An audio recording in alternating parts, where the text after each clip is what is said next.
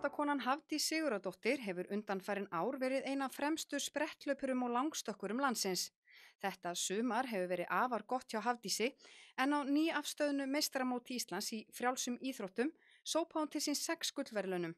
Við hittum Hafdísi á eskuheimili hennar, Tjarnarlandi í Ljósavaskarði, þar sem frjálsýþrótta áhugin kviknaði.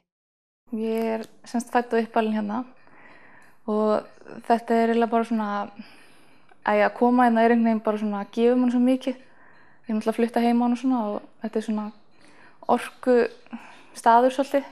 Svona útrúlega gott allt hérna, náttúrann og fæ mikið úr þessu að koma.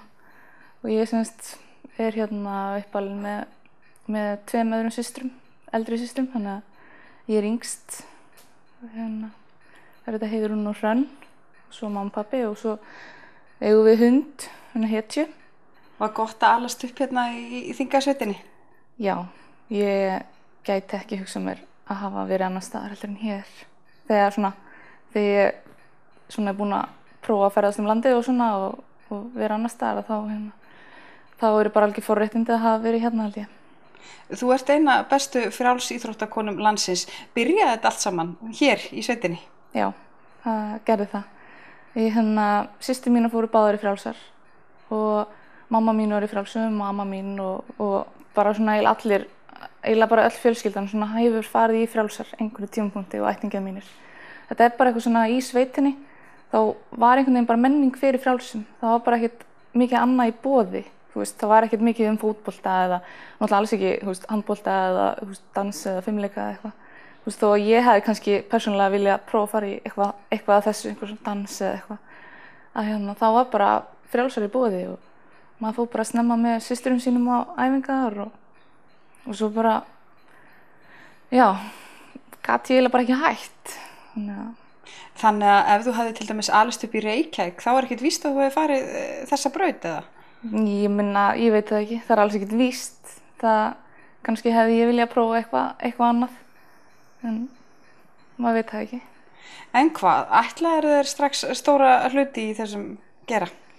Já, ég varði eiginlega, þú veist, ég varði eiginlega svolítið ákveðin í því. Mér fannst strax rosalega gaman í langstöki og ég var rosalega fljóta ákveða hvaða greinar mér þætti ekki skemmtilegar sem að kannski er ekkert mjög gott því að þegar maður er krakki þá á maður bara verið í öllu og bara njóta þess að keppa í öllum greinunum og prófa allt.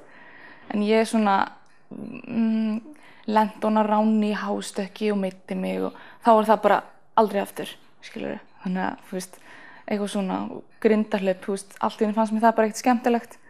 Og þá fór ég bara til þjálfarins mín og sagði bara, heyrðu, ég er svona bara að vera ekki meiri í grindarhlaupi. Þú veist, og ég bara svona ákvað þetta bara svona með sjálfur mér. Þannig ég var bara mjög ákveðin og svona vissi eiginlega hvað ég vildi bara strax. En sem sagt, eh, langstökki, það er þín grein og, og sprettlöfin. Já, það má eiginlega segja það. Ég hef svona verið einbyttið mér að þessum greinum svona síðustu ár. Og hérna, Þú hlýtur líka að vera bara nokkuð ána með sumarið. Það hefur gengið mjög vel hjá þér í sumar. já, það gengið alveg bara frábælega. Ég er búin að setja eitt Íslandsmet utan hús í langstöki. Búin að stökkva ansi oft yfir því meti en ég lendi stundum í vandræði með vindin. Og svo bætti ég það tvisvar líka innan hús.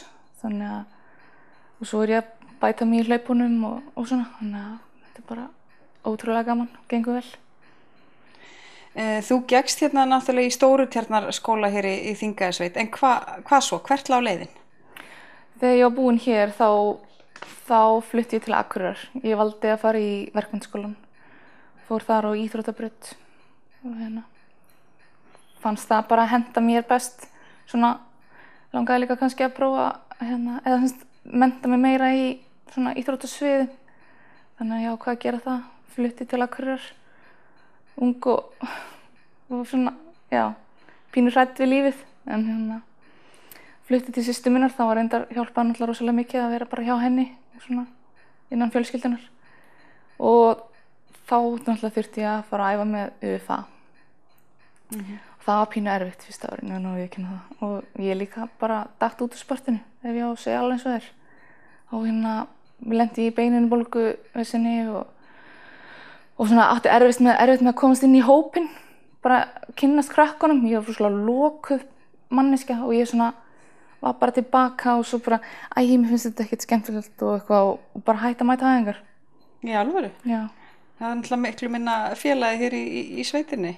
já, ég, já ég, það var bara eitthvað öryggi hérna og eitthvað svona, og bara því ég þekkti alla og eitthvað, og svo komum maður nýjan stað og ég var bara svona lítil í mér að ég bara átti erfitt með að, með að hérna þóla þetta. En þú hefur greinlega komist yfir það og ert að gera alltaf góða hluti í dag. Já. Hvert myndur þú segja að væri þitt mesta afreg hinga til? Um, ég, ég bara að komast á EM, að fá að vera valin á EM held ég. Nú er ég að fara til Sviss í, í næstu viku, eða bara núna um helgina og er að fara að keppa á EM í, í næstu viku og ég held að það sé það stærsta sem hefur komið fyrir mig. Eða þú veist, ég er náttúrulega ekki ennþá búin, búin að fara eða upplifa þetta ennþá, en þetta er alltaf á planinu og og til þess að fara þá þurfti ég náttúrulega að stökkva hans í langt í langstökinu sem ég gerði á Söðukrók núna síðasta lögadag stökk 6.72 og er alltaf búin að ná mér eftir það, það var svo gaman. En hérna aðeins mikil vindur þannig ég fekk ekki, ekki Íslandsmeti gilt. En ég er allavega ég held að það sé að stærsta sem ég hef gert svona Eins og hjá öðru afregsfólki eru íþróttaæfingar stór þáttur í lífi Hafdísar og vegna þrótlausra æfingu og móta hefur hún verið í stópulli vinnu. Að hennar sögn eru fáir styrkir í bóði fyrir íþróttafólk sem er ekki alveg komið á toppin og eins virðast bolta íþróttirnar frekar eiga upp á pattborðið hjá styrkveitendum. Ég er ekki á neinum styrkjum, get ég eiginlega sagt. Ég fæ náttúrulega einhverja greiðslur frá, veist, það er einhverju styrki sem ég fæ og eða félagi mitt fær út af mér. Þannig ég er ekki að fá beint peningin, skilur. Þannig ef ég þarf að fara til Reykjavíkur eða eitthvað, að þá get ég semst fengið endugreitt frá mínu félagi. Ég get gert það, sko. Þannig að það er rosalega góðu kostur að geta átt inn í smá pening þar en ég er ekki að fá neina styrki í rauninni bara ég fekk ég fekk hérna frá ISI fekk ég eingreðslu upp á 300.000 fyrir þetta ár það er náttúrulega hverfur bara svona sko. þannig að Er þessi, eru frjálsar, eru þær, sitja þær svolítið á, á hakanum hvað þetta var þar eða? Já, algjörlega. Því miður. Og það er náttúrulega, þeir sem fá peningin eru þeir sem eru í fremsturöð. Það er náttúrulega bara skiljanlegt sko. En það eru náttúrulega fleiri í þessu, þú veist. Og, og ég bý á Akureyri og ég þarf að sækja öll mót til Reykjavíkur. Hvert einasta. Það er ekkert mót fyrir mig semst á Akureyri á þessu ári. Nefna bara mót sem við höldum sjálf öll stórmótin og allt það er í Reykjavík þannig að ég og mitt lið þurfum alltaf að fara til Reykjavíkur En þetta er eitthvað, að- að- þetta er að gefa þér eitthvað fyrst þú ert að endast í þessu og þú ert orðin 27 ára gömul og ert ennþá á fullu. Mhm. og hvað, hver stefnuru?